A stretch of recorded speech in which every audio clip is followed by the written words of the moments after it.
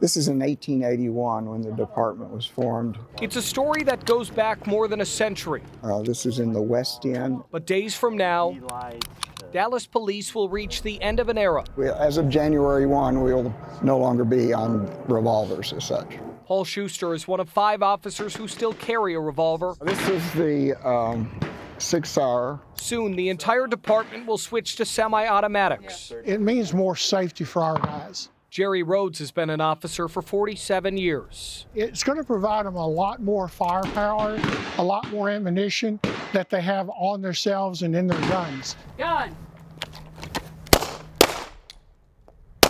So whereas a revolver had six rounds, some had five rounds, we carried 12 rounds on our, on our belt.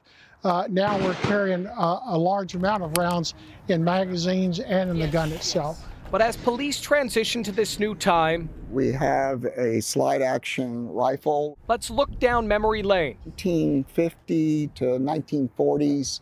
Uh, we had one Thompson machine gun on the department. Of course, back in those days, billy clubs, the officers had billy clubs. Through all this time, the revolver stayed by their side. At three o'clock in the morning, I reached around and yep, it's there.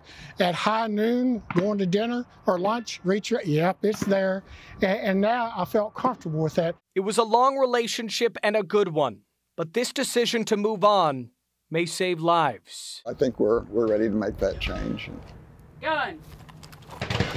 In Dallas. I'm Alex Rozier.